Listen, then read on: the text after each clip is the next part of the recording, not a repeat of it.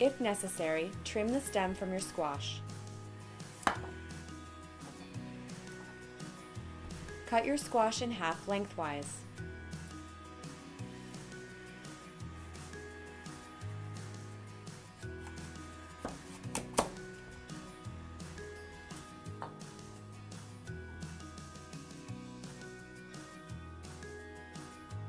Use a spoon to scoop out the seeds and discard.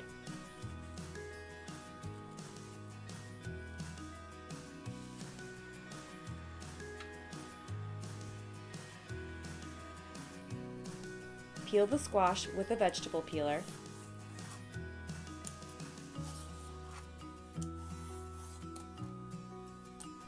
Making sure to remove the skin from any divots or edges.